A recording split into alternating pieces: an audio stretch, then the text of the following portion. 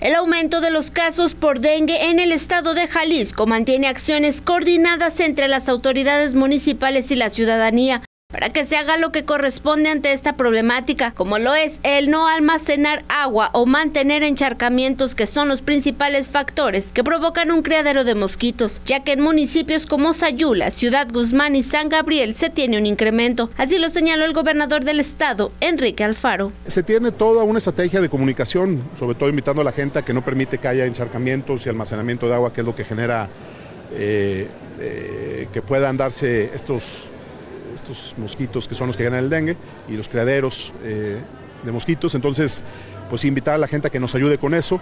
Eh, afortunadamente, lo que hemos tenido más allá de los casos es una muy eh, o sea, no tenemos un problema de mortalidad como se tuvo en otros, en otros años, pero hay que estar atentos y sí, obviamente, invitar a la gente a que siga ayudando en ese sentido. En Jalisco TV Noticias, Karina Lomelí.